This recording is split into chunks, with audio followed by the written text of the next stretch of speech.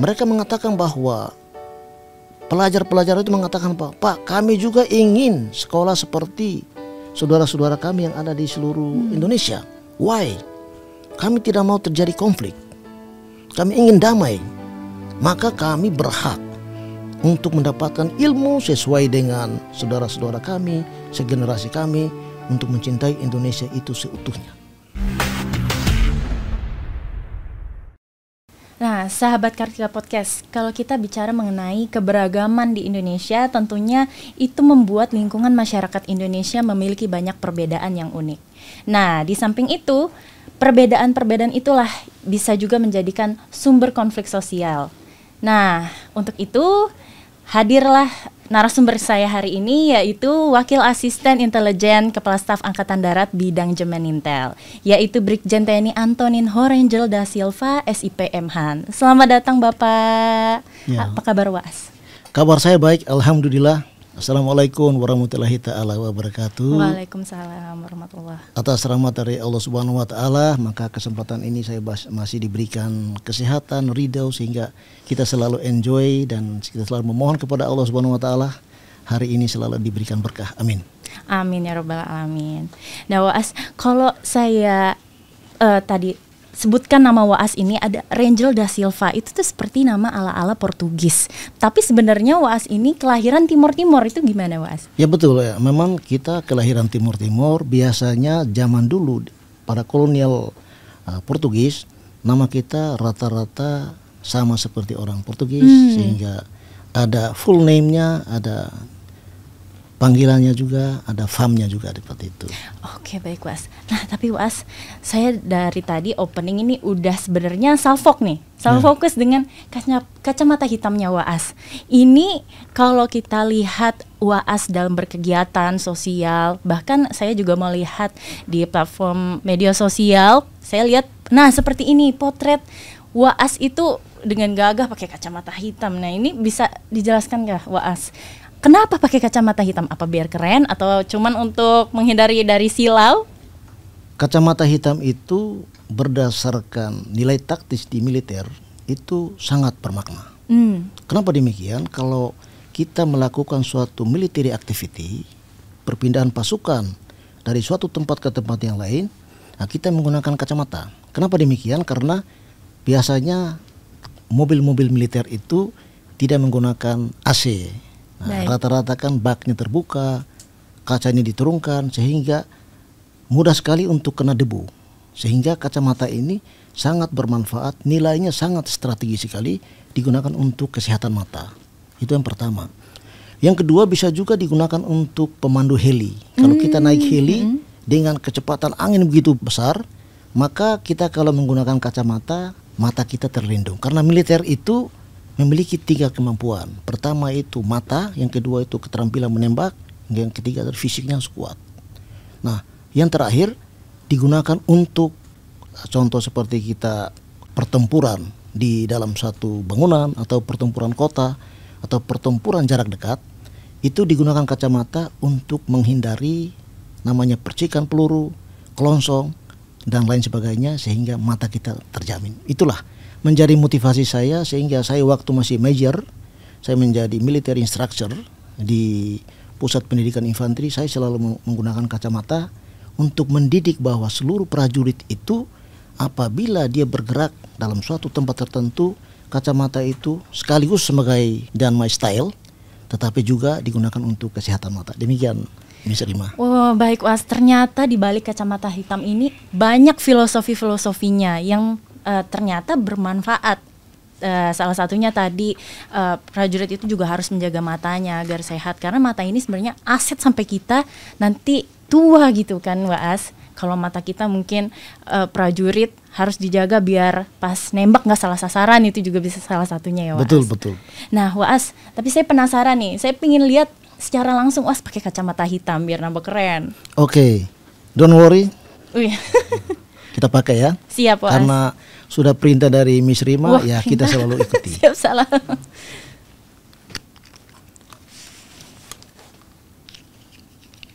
Nah, keren banget ternyata tepuk tangan. Wah, keren banget Waas. Oke.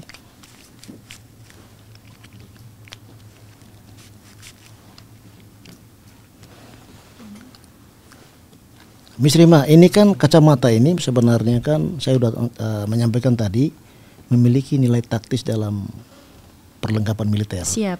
Oleh sebab itu ya mungkin lebih lengkapnya saya minta juga Miss Rima untuk menggunakan kacamata dari Waduh. saya itu sebagai hadiah dari saya. Ah, siap, terima Nah, kasih. Mudah-mudahan perbincangan kita itu membawa makna demikian. Amin. Izin terima kasih Was, saya terima kacamatanya. Izin Was, berkenan saya boleh buka ini. Oh silakan silakan, please. Harus dipakai juga ya Was. Nah, harus dipakai biar Siap, siap. kelihatannya lebih humanis gitu. Saya mau nih Mas. ah, sebentar. Bismillah dulu mau pakai ya Oke Was. oke. Nah. Wah, Nah kelihatannya berbeda.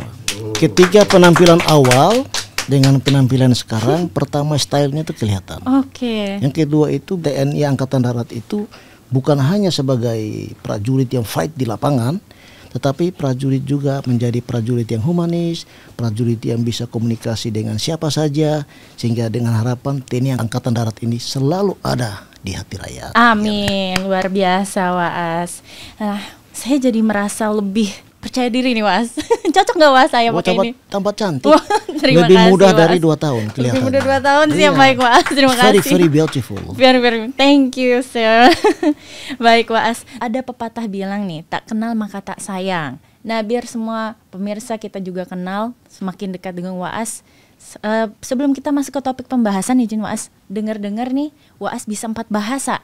Ada bahasa Brasil, bahasa Inggris, bahasa Persatuan Timur Leste atau bahasa Tetun, dan yang utama adalah bahasa Indonesia. Mungkin untuk itu Waas bisa memperkenalkan diri dengan empat bahasa itu izin. Oke everybody, uh, Miss Rima. Sebelum saya memperkenalkan diri dengan berbagai macam bahasa yang disampaikan oleh Miss Rima, tapi perlu diketahui bahwa kalau bahasa Brazil saya hanya pada tingkat public speaking. Oh, oke. Tapi kalau bahasa Inggris juga sama, kita pasif. Nah, kalau bahasa Tetung adalah bahasa daerah yang pada saat kita lahir, kita menggunakan bahasa itu. Hmm. Nah, kalau bahasa Indonesia adalah my mother language, kan begitu ya. Siap. Kita mulai ya, boleh ya? Boleh, boleh, Wak. Silakan izin. Ok. Eu chamo-me Antoninho Rangel Silva. O meu apelido, Rangel da Silva. Ah, O meu estimado nome, Antônio. Eu sou brigadeiro general Exército Nacional da Indonésia. E agora, em minha posição, é adjunto assistente ao Exército Nacional da Indonésia. E agora eu já formado de Academia Militar de 1992 em Magellan, em Central de Java. E agora eu fico situada em Jakarta. E a minha esposa chama-se Maya Sarinense.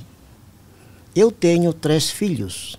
O primeiro filho chama-se Brian Alexander Putra Rangel. E o segundo filho chama-se Sony Ramadan Putra Rangel. E o terceiro filho chama-se Muhammad Argênio Putra Rangel. Eles agora ficam situados em Bandung, em Zaba Oeste. Eh, isto que é o meu introdução para você e minha senhorita Rima. É muito consciente falar contigo e graças a Deus e obrigado.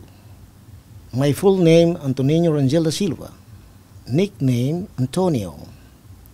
I am Brigadier General TNI and Deputy Intelligence Indonesian Army. I graduated Military Academy 1992 in Magelang, Central Java. And now I live in Jakarta. My wife is named Maya Sarinensi and my boys is named Brian Alexander Puterangel, Sony Ramadan, and Muhammad Arjani Puterangel. And now they live in Bandung. I'm very happy. It is uh, my introduction with you, uh, Miss Rima.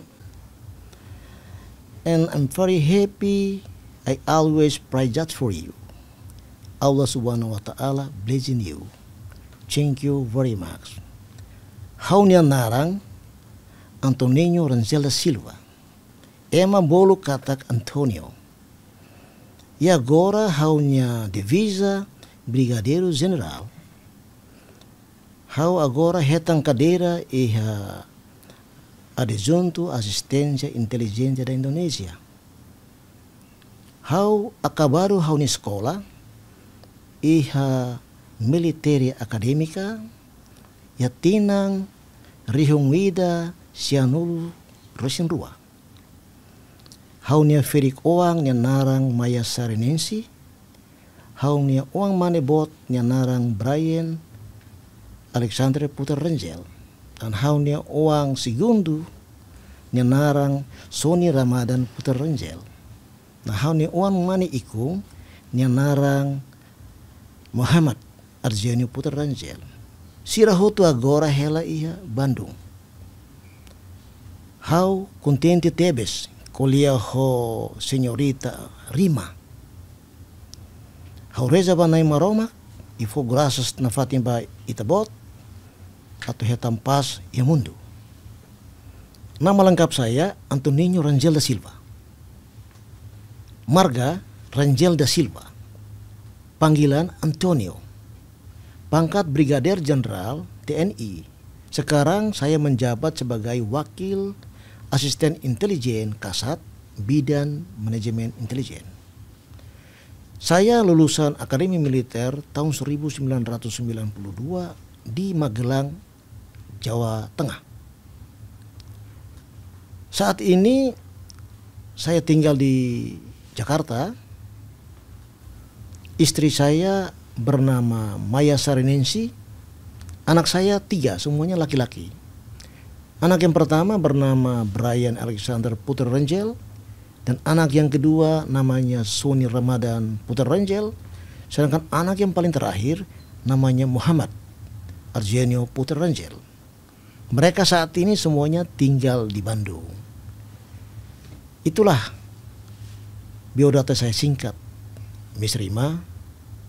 Semoga dengan perkenalan saya ini para netizen, para followers, ataupun sahabat ketika podcast ini Angkatan Darat bisa saling kenal, bisa membangun hubungan silaturahmi antara satu dengan yang lain yang dinamakan dikenal sebagai dua raga satu jiwa tanpa batas. Itu namanya sahabat sejati. Demikian semoga Allah Subhanahu wa taala memberikan berkah pada kita semua pada pagi hari ini Semoga kita selalu sehat. Begitu Miss Rima, terima kasih. Weh, tepuk tangan dulu dong. Bravo, bravo. Keren banget Mas izin bisa perkenalan dengan empat bahasa itu. Tapi dengar-dengar uh, bahasa Tetun ini ternyata kayak terdengar seperti bahasa Brazil juga ya, Was. Begini, bahasa Tetun itu banyak mengadopsi bahasa Brazil maupun bahasa Portugis. Contoh bahasa Tetong itu tidak memiliki rasa terima kasih. Semuanya gunakan obrigado barat. Nah, Bapak Kasat kita sangat fasih berbicara bahasa Tetong. Kalau berbicara dengan saya, oke. Okay. Dia kalai, apa kabar? Mm. Obrigado barang. Terima kasih banyak. Itu. Sehingga bahasa Tetong itu bahasanya sama seperti bahasa-bahasa negara Melanesia. Oh. Seperti itu bahasanya. Sangat berbeda. Kalau bahasa Spanyol, bahasa Portugis, bahasa Italia, dan bahasa-bahasa di negara Eropa hampir mirip pronunciation-nya. Tapi kalau bahasa Timur dengan bahasa Eropa sangat berbeda. Demikian, Miss Rima. Baik, Was. Was, kalau kita uh, lanjut berbicara mengenai uh, program yang diadakan ini Binkom Sosial. Nah, saya juga beberapa kali sering lihat di YouTube bahkan di berita di media sosial yang cukup viral tentang program pembinaan komunikasi atau BINKOM cegah cegah konflik sosial dari TNI Angkatan Darat. Mungkin bisa Waas ceritakan sedikit latar belakang kenapa sih harus diselenggarakan BINKOM ini di daerah-daerah di Indonesia? Oke, terima kasih Miss Rima. Uh, perlu kita ketahui bersama bahwa latar belakang dari kita menyelenggarakannya pimpinan komunikasi itu adalah inisiasi Bapak Kasat yaitu Jenderal TNI Dr. Dudun Abdurrahman SEMM. Beliau memiliki kemampuan, beliau memiliki analisis yang sangat luar biasa tentang geostrategi, geopolitik dan global situation, regional situation, national situation dengan local situation. Nah, kenapa demikian? Karena beliau melihat bahwa Indonesia ke depan dalam waktu dekat ini ancaman yang paling mungkin itu kemungkinan terjadi pada pasca ataupun tahun politik yaitu hmm. 2024. Nah, oleh sebab itu beliau memanggil uh, Bapak As Intel Kasat yaitu Mayor Jenderal Dr. Dr. Andes Jaka Tandang dan memanggil kami juga, saya juga. Beliau kasih perintah Beliau mengatakan bahwa untuk saat ini seluruh rakyat Indonesia akan menghadapi tahun politik. Tahun politik yang bagaimana? Kemungkinan akan terjadi konflik sosial. Itulah salah satu latar belakang dari beliau sehingga beliau memerintahkan kita untuk segera membuat program tersebut. Hmm. Maka Bapak As Intel Kasat memerintahkan saya untuk mendesain tentang program ini. Nah program ini sudah kita laksanakan mulai dari Saban sampai ke Merauke, Miss Rima. Itu. Siap.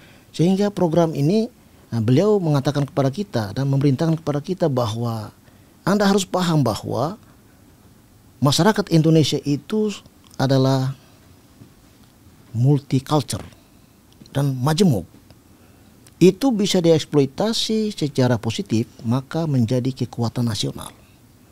Tetapi apabila tidak bisa dikelola atau dibina dengan baik akan menimbulkan disintegrasi bangsa, bisa menimbulkan keretakan bangsa dan bisa terjadi konflik yang dinamakan konflik horizontal maupun vertikal.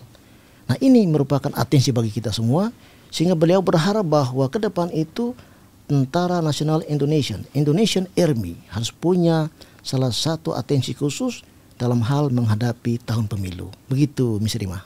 Siap baik Bapak betul. Seperti yang saya sebutkan di opening tadi, kita ini banyak keberagaman dan justru keberagaman itu menciptakan uh, juga bisa menjadi sumber konflik sosial terutama de dengan kita menghadapi akan menghadapi pemilu nanti di 2024. Yes. Dan uh, tentu di era globalisasi informasi teknologi ini Waas uh, banyak eh, isu-isu uh, negatif yang bisa membuat kita menjadi pecah belah. Nah, uh, kita juga ingin mengetahui nih Was, bagaimana situasi global, regional dan nasional saat ini. Mungkin bisa dijelaskan secara singkat, Was. Baik, Miss Rima, bahwa di dalam menghadapi lingkungan strategi itu kita kenal namanya global situation Global situation itu situasi yang berkembang di dunia saat ini yang paling menonjol itu adalah konflik antara Rusia dengan Ukraina. Ya. Nah konflik itu menimbulkan korban kurang lebih 14.400 orang. Baik itu meninggal maupun luka. Hmm. Dari, dari konflik itu semua infrastruktur hancur. Pengaruh terhadap ekonomi global pengaruh juga terhadap kehidupan sehari-hari masyarakat Ukraina di mana mereka hidupnya sangat menderita, hmm. infrastrukturnya hancur, semua pola kehidupan sehari-hari yang seharusnya mereka hidup dengan damai terancam dengan dibom setiap hari. Itu situasi global. Sedangkan kita lihat dari situasi regional situation, kita harus tahu bahwa Indonesia ini adalah negara kepulauan. Di mana Indonesia memiliki 95.181 km. Itu panjang pantai kita. Sedangkan luasnya laut kita itu 5,8 juta kilometer persegi. Bayangkan. Dan 71 persen Indonesia itu terdiri dari perairan. Berarti kesimpulannya 29 persen itu kepulauan. Oleh sebab itu kita wajib untuk mempertahankan namanya zona ekonomi eksklusif.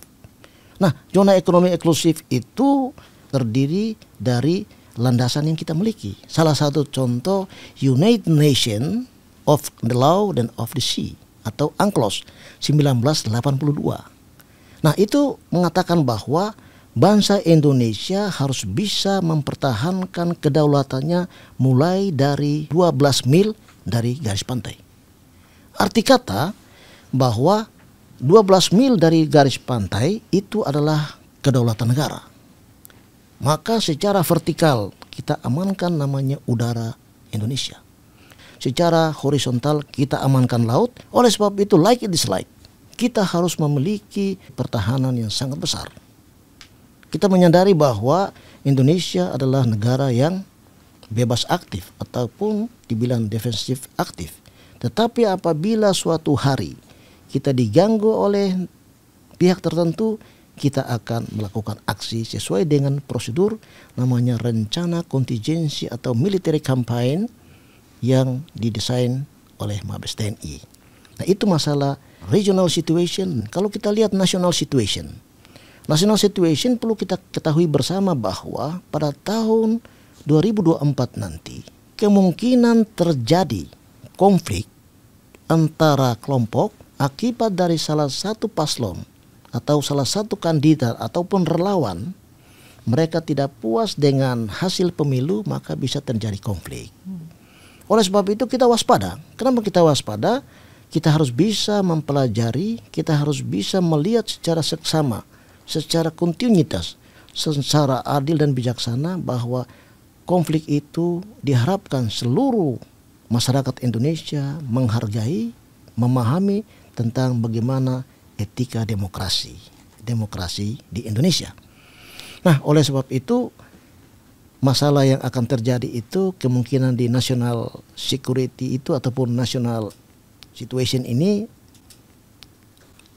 kemungkinan ada teror, bisa juga kemungkinan karena ketidakpuasan antara satu kelompok dengan yang lain, ini bisa menimbulkan konflik. Maka TNI tetap pada koridor yaitu pertama membela kedaulatan Republik Indonesia, melindungi seluruh bangsa Indonesia dan mempertahankan kedaulatan negara sampai titik darah penghabisan sampai dunia kiamat.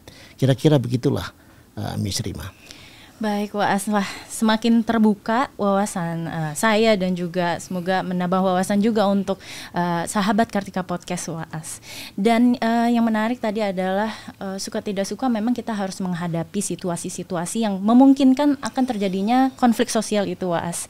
Dan um, kami juga melihat di berita media sosial, YouTube bahwa hampir seluruh komponen masyarakat di daerah pelosok kabupaten kemarin uh, di Indonesia memberikan testimoni yang sangat positif nih terhadap kegiatan Binkom ini di mana pasti Binkom ini uh, diharapkan tidak hanya uh, untuk menjadikan Indonesia ke depannya warganya itu memiliki rasa persatuan kesatuan yang dimiliki hanya pra, oleh prajurit TNI tapi juga uh, mengakar dan membumi di hati masyarakat. Nah, itu seperti apa izin tanggapan untuk testimoni yang positif itu? Begini Miss Rima, Nah, perlu diketahui bersama bahwa program itu sudah kita lakukan dari dua tahun yang lalu, sejak Bapak Kasat kita menjabat sebagai Kasat waktu itu. Sehingga kami melaksanakan program itu mulai dari seluruh Indonesia dari Sabang sampai ke Merauke. Nah, testimoni yang di apa disampaikan oleh seluruh komponen masyarakat, terutama di daerah pelosok, mereka sangat berterima kasih kepada Bapak Kasat. Itu yang pertama. Yang kedua, mereka menganggap bahwa program ini sangat penting untuk membangun kembali jiwa nasionalismenya manusia Indonesia, warga negara Indonesia untuk mencintai bangsa Indonesia secara hakiki dan konsekuen. Oleh sebab itu, mereka menghimbau. Ada juga waktu kemarin, uh, maaf Miss uh, Rima, waktu saya di Merauke, saya di Sorong, mereka mengatakan bahwa pelajar-pelajar itu mengatakan Pak, Pak kami juga ingin sekolah seperti saudara-saudara kami yang ada di seluruh hmm. Indonesia. Why? Kami tidak mau terjadi konflik. Kami ingin damai. Maka kami berhak untuk mendapatkan ilmu sesuai dengan saudara-saudara kami, segenerasi kami untuk mencintai Indonesia itu seutuhnya. Dan seluruh komponen masyarakat mereka berani mengatakan bahwa Papua adalah Indonesia, Indonesia adalah Papua, sudah harga mati. Titik. Nah itu adalah kesimpulan dari kita melakukan suatu program itu. Sehingga output maupun outcome-nya, output dalam waktu dekat itu masyarakat mencintai Indonesia.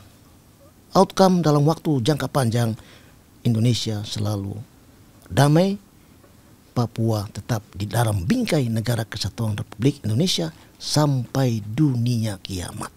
Itu adalah testimoni dari seluruh komponen bangsa, mulai dari Aceh sampai ke Merauke. Mereka mengatakan hal yang sama.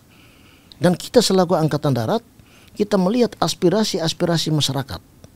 Kita melihat bagaimana pertanyaan yang diberikan sangat kritis, integratif, holistik. Mereka luar biasa, keren.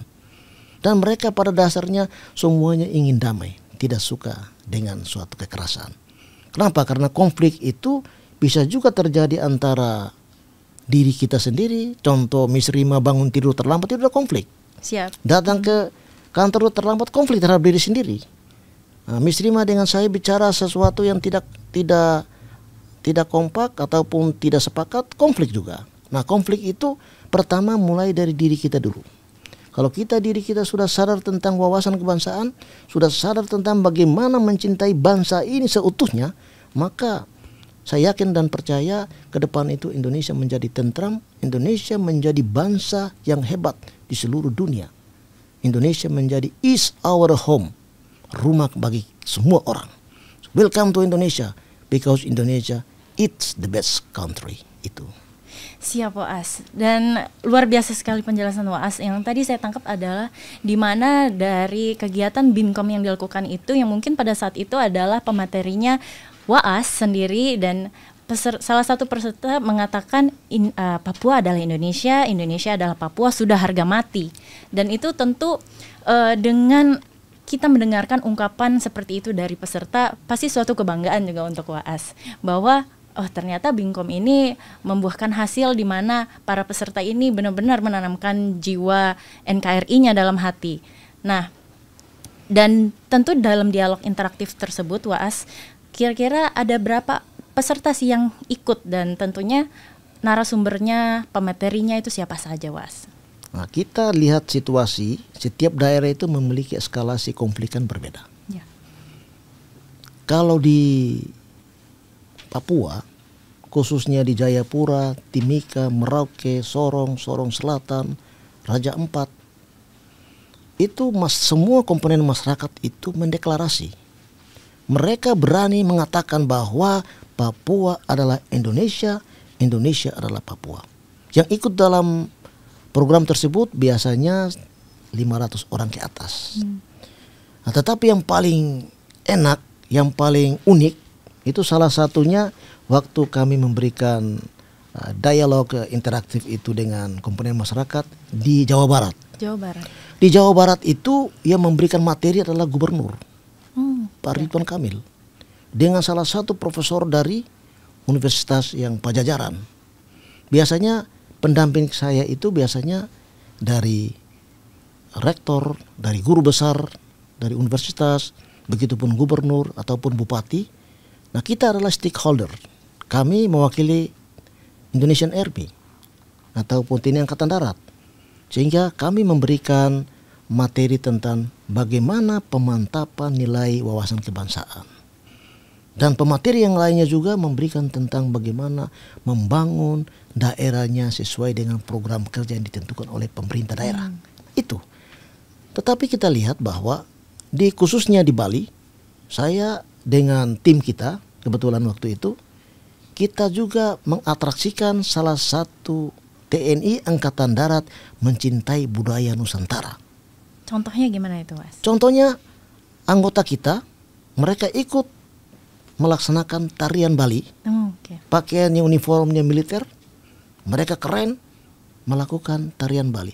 Mencintai budaya lokal merupakan kekuatan aset kita untuk menjadi budaya nasional, budaya nasional menjadi budaya internasional dan menjadi kekuatan abadi khususnya di pariwisata di Indonesia.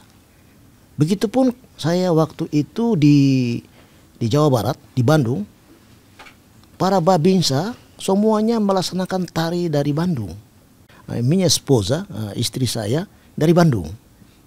Sehingga tarian di sana, tarian Bandung sangat luar biasa sehingga para peserta BIMKOM itu bukan hanya sekedar dialog interaktif antara pemberi materi dengan uh, dengan penerima materi, tetapi mereka juga melihat bagaimana Tentara Nasional Indonesia Angkatan Darat mencintai budaya Nusantara, implementasinya kita harus mencintai budaya Nusantara.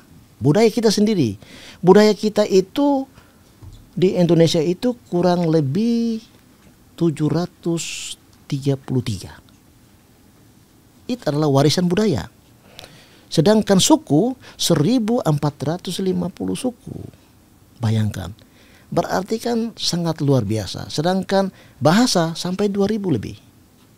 Berarti kan keunikan kita, keberagaman kita, kebinekaan kita itu sebenarnya kalau dieksploitasi secara integratif, secara holistik, secara masif, secara komprehensif maka akan menjadi suatu kekuatan nasional yang akan menjadikan menjadikan ketebalan kita untuk mencintai Indonesia menjadi Indonesia yang kuat, Indonesia yang makmur dan Indonesia yang dihargai oleh seluruh dunia.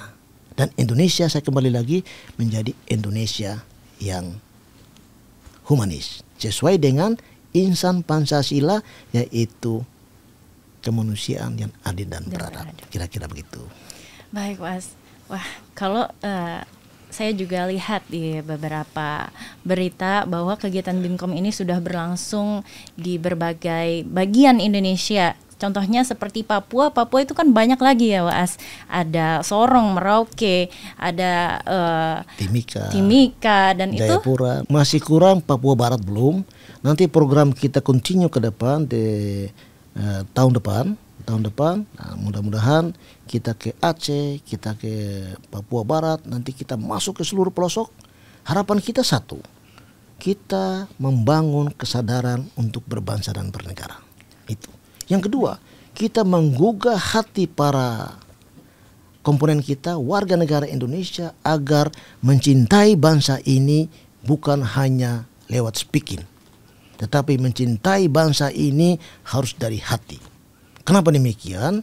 Karena itulah tugas dan kewajiban warga negara Indonesia untuk membela negaranya tanpa pamrih. Nah itu. Dan saya juga menjadi motivator. Motivator bahwa saya mengatakan bahwa saya dulu di Timur Timur lahir sejak SD ke sekolah itu jalannya 10 kilo, Miss Rima. Oh siap. Tidak punya pakai sandal. Di Timur Timur itu, Was. Timur Timur pakai sandal, nggak pakai sepatu, jalan sampai ke sekolah. Every day tiap hari. Tetapi saya punya motivasi. Saya ingin ke Jawa. Hmm. Saya ingin menjadi orang hebat. Saya ingin punya istri orang Jawa. Akhirnya terwujud. Jawa Barat. Jawa Barat. Jawa kan luas. Jawa Barat, Jawa Tengah, Jawa Timur. Siap. Semuanya satu pulau Java. Orang bilang dalam bahasa Brazil Java. Nah, Java. Itu sehingga itu terwujud arti kata semua masyarakat Indonesia, pemerintah Indonesia, Bapak Presiden Republik Indonesia Joko Widodo sudah melakukan program pemerintah secara profesional. Beliau bekerja siang malam untuk bangsa Indonesia. Beliau bekerja tanpa pamrih untuk membangun semua infrastruktur dan kesejahteraan masyarakat. Tetapi itu tidak semudah yang kita pikirkan membolak-balikan tangan. Semua itu butuh proses dan step by step. Sehingga saya berharap waktu itu saya berbicara di depan uh, para para peserta, saya mengatakan bahwa kita harus memiliki namanya positive thinking. Selalu memberi, memikirkan hal-hal yang positif untuk mengisi bangsa ini. Kalau kita semua hanya saling menjatuhkan, hanya saling menghardik, maka kita tidak bisa menjadi warga negara yang baik, tidak bisa menjadi dan mengamalkan Pancasila itu secara konsekuen. Dan mm, Miss Rima juga perlu ketahui bahwa ternyata banyak komponen masyarakat meminta agar Pancasila itu perlu dimasukkan kembali di dalam kurikulum pendidikan. Mereka sampaikan hampir seluruh Indonesia mengatakan seperti itu. Dan saya waktu itu masuk di military academy, saya dapat juga pelajaran itu namanya P4. Pedoman Pengamalan Penghayatan Pancasila. Hmm. SKS-nya banyak. Kita harus menjadi insan Pancasila. Ketika kita memahami tentang Pancasila, ketika kita memahami tentang wawasan kebangsaan, maka kita akan menjadi insan Pancasila yang sejati.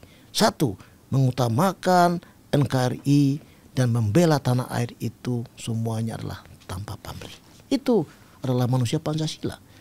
Dan mereka mengatakan juga Pak, kapan itu dilaksanakan? Saya bilang sekarang prosesnya pemerintah sudah melaksanakan itu bisa lewat media sosial, bisa lewat dialog seperti sekarang ini, dialog interaktif antara satu dengan yang lain sehingga masyarakat bisa open. Dan semua pada saat kami memberikan dialog interaktif itu, semua stakeholder yang ada kita undang, contoh seperti para guru besar, para gubernur maupun para bupati, semuanya akhirnya terbuka dengan masyarakat.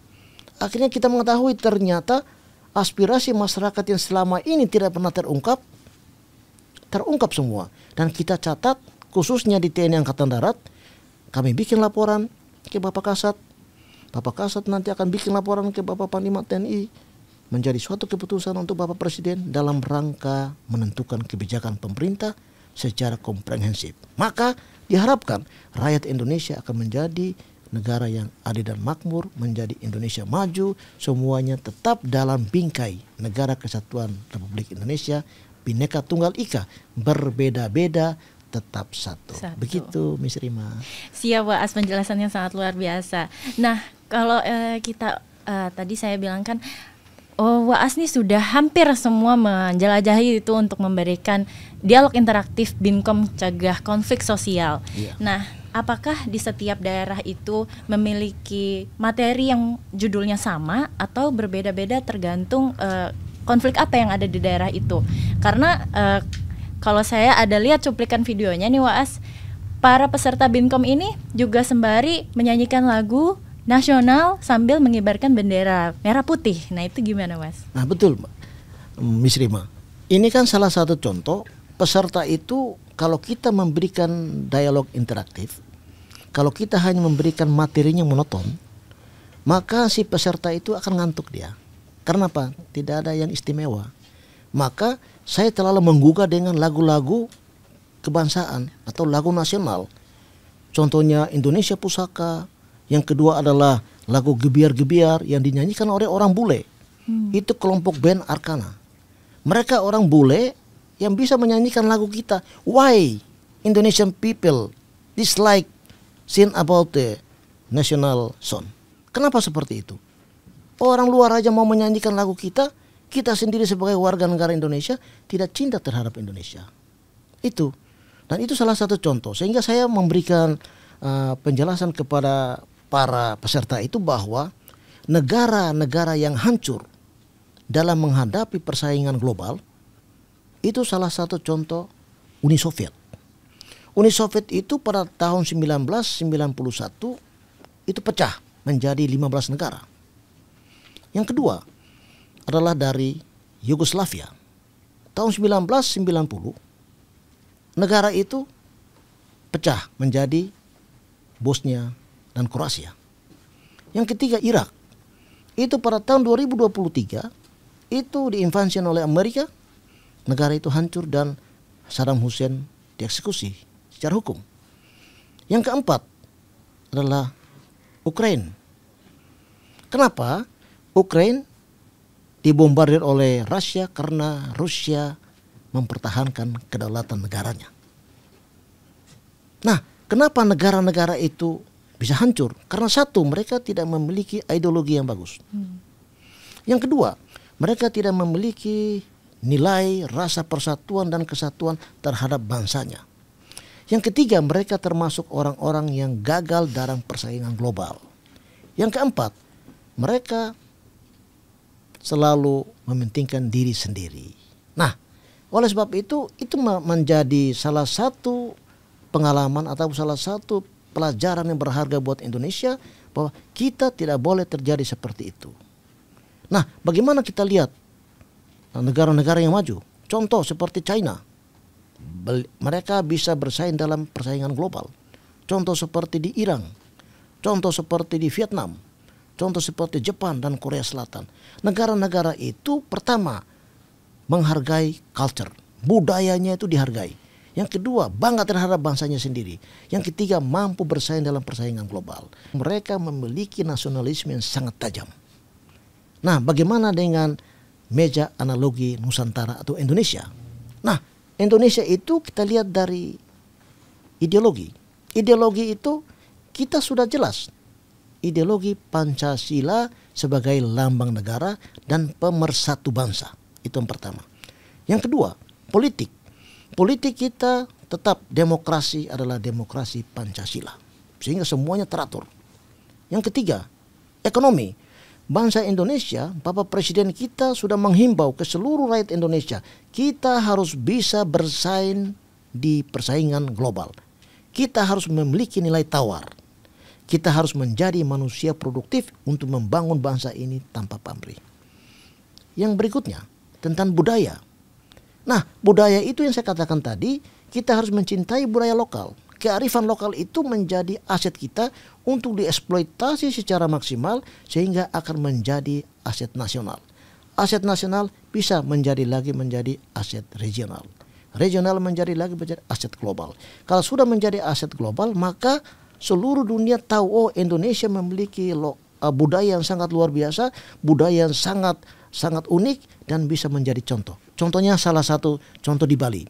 Saya memiliki salah satu teman dari Swiss. Dia mengatakan kepada saya, Antonio, saya kira negara saya lebih aman. Ternyata negaramu lebih aman. Saya bilang, loh kenapa? Kamu tahu nggak? Waktu dia pertama kali datang ke Bali, namanya orang boleh, mohon maaf, dia suka ke minum, ya. ya. Dia keluar dari hiburan malam, mabuk dia. Dihentikan taksi. Kebetulan supir taksi itu namanya Mr. Putu. Putu kalau bahasa Bali ya, Putu ya. Nah, dihentikan, eh Mr. Putu aku mau ke hotel A. Ya si supirnya turunkan buka pintunya, please naik di taksi diantar ke hotel yang dituju. Ketika si turis ini dia masuk ke taksi, dia sudah mulai tidak sadar karena dia minumnya terlalu banyak. Hmm. Akhirnya sama si Mr. Putu ini bawa ke hotel. Setelah itu masukkan ke kamarnya, cek paspornya semua, KTP-nya dibawa. Tapi seluruh dompetnya, visanya, paspornya taruh di situ. Tutup pintu, kembali ke rumahnya. Besok pagi jam 11, Pak Purti itu datang. Good morning, sir. Buka pintu si orang turis ini kamu siapa? Saya Putu pak. Saya tadi malam yang antar papa ke sini sebagai supir taksi. Oh, saya saya bapak saya belum dibayarin pak. Berapa? 54 ribu. Boleh nggak percaya? Dia bilang, betul? Atau kamu mau bohong sama saya? Ini KTP papa. Nah, kan KTP-nya di bawah nih. Ini KTP papa. Oh, dilihat kan? Oh, betul juga. Setelah dibuka dompetnya, semuanya utuh. Dia terima kasih, oh terima kasih masih ada malaikat seperti itu di dunia. Akhirnya Pak Putu bilang saya minta bayar Pak.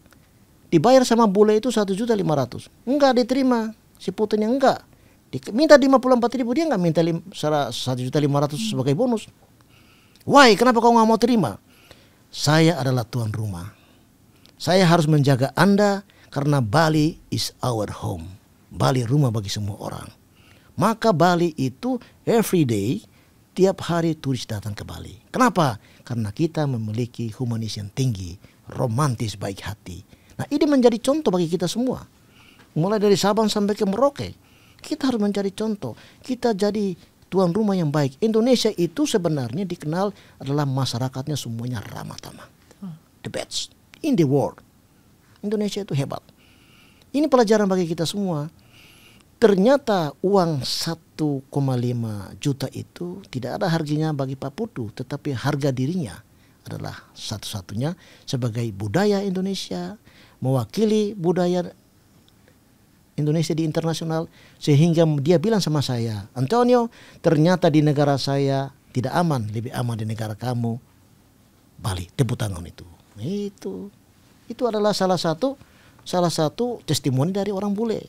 Miss, sehingga ini harus kita kita promosikan budaya kita. Saya kebetulan bikin buku oh. tentang bagaimana destinasi wisata di NTT hingga sekarang pada saat saya bimkom di Kupang, di Soe dan di perbatasan antara Timor Leste dengan uh, Atambua atau Indonesia, saya bagikan itu.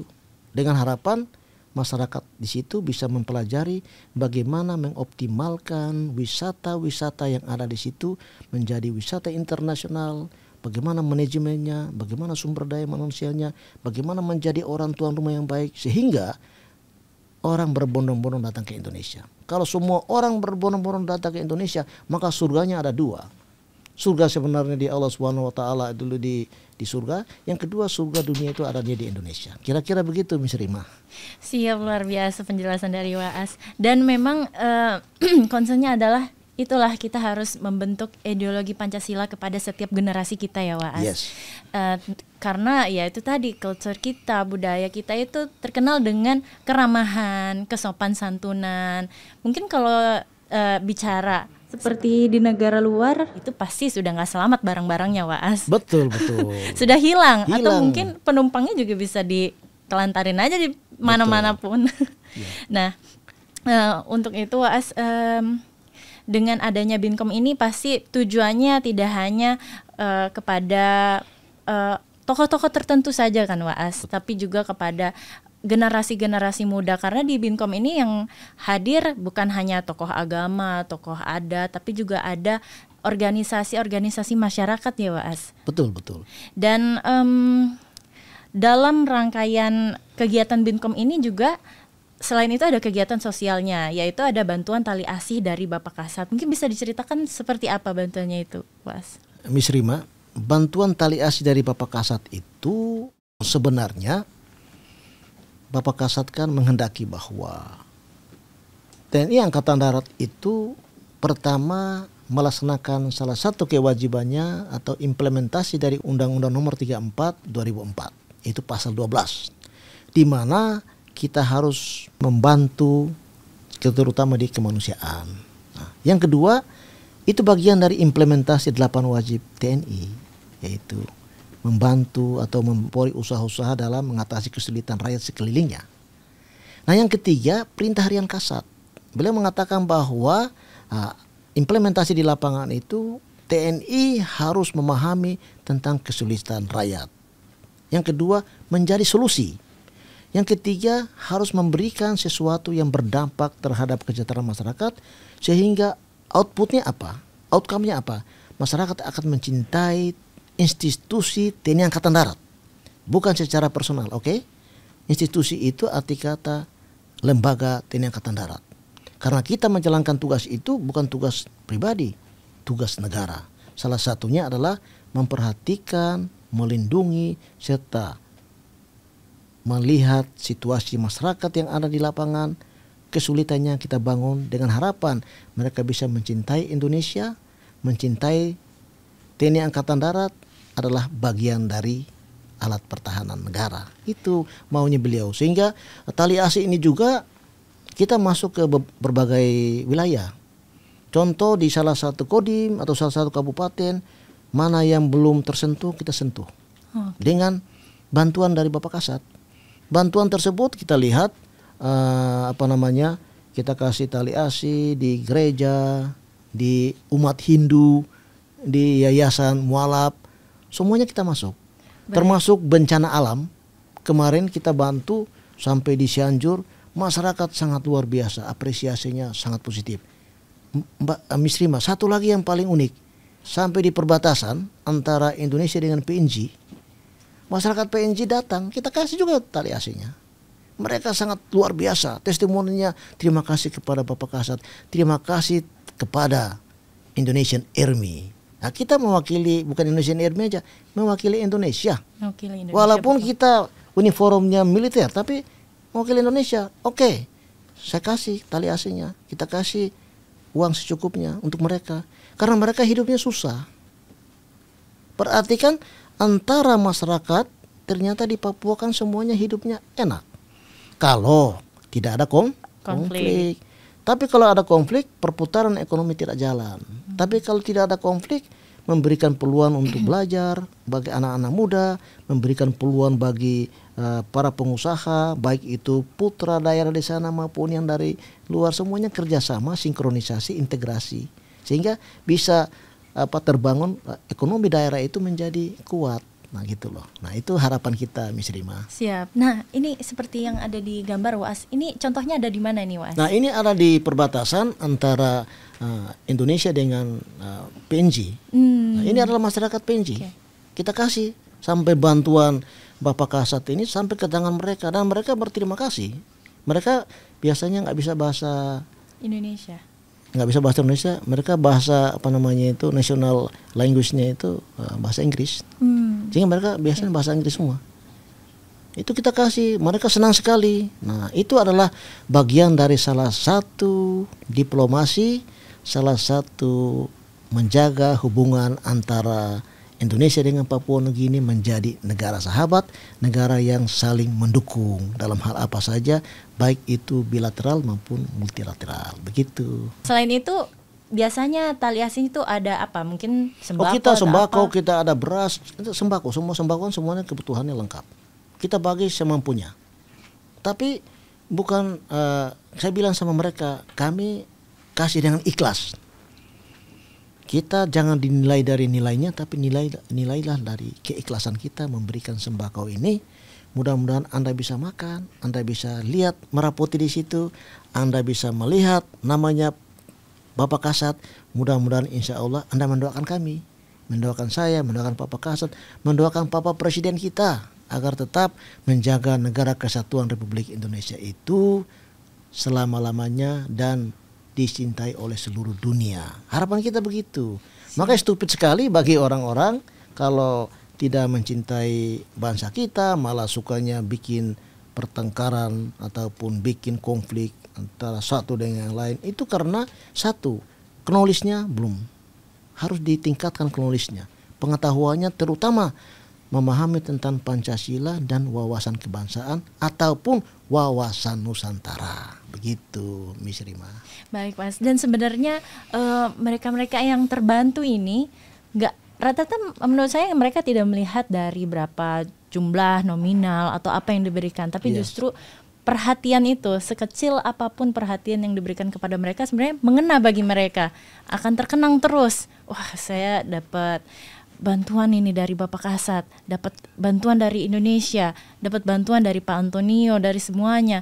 Yang sebenarnya kita-kita ini adalah sebenarnya um, jembatan gitu. Tapi asal mulanya ini juga dari rakyat juga seperti betul, betul. saya, Waas, kita semua berasal dari rakyat, kembali uh, juga untuk rakyat dan pada saatnya nanti kita juga akan menjadi rakyat kembali gitu. Dan uh, cukup menarik sekali pembahasan mengenai Binkom ini. Dan semoga seperti yang tadi Waas harap-harapkan agar Binkom kegiatan Binkom ini bisa lebih meluas lagi ke daerah Aceh dan ke tempat-tempat lain yang belum sempat untuk uh, diadakan kegiatan tersebut ya Waas. Dan semoga dengan adanya uh, kegiatan Binkom ini akan membuat generasi-generasi muda, tokoh-tokoh masyarakat, baik di pemerintahnya sendiri menjadi semakin solid untuk uh, menjadikan Indonesia ini semakin kuat, semakin bersatu, tidak ada atau lebihlah um, mengurangi uh, sumber-sumber konflik sosial itu sendiri, Was. Nah, mungkin terakhir Was ada yang mau disampaikan, rasa terima kasih atau sebagainya. Baik, terima kasih uh, Miss Rima karena sudah diundang ke sini dalam Kartika Podcast TNI Angkatan Darat. Nah, saya beserta tim dari Si Intelat. Kita melakukan BIMKOM ini bukan hanya semata mewakili pribadi, bukan. Kita mewakili Indonesian Army. Kita mewakili seluruh TNI Angkatan Darat. BIMKOM itu adalah bagian dari kegiatan yang lebih besar lainnya. Oleh sebab itu, saya hanya menghimbau kepada seluruh masyarakat ataupun seluruh netizen ataupun followers betul ya? Siap. followers dari Kartika Podcast TNI Angkatan Darat bahwa ke depan itu mari kita membuka wawasan kita.